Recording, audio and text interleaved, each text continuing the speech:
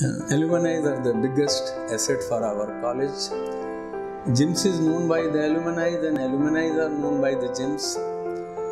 You grow in your life and we also grow in the market.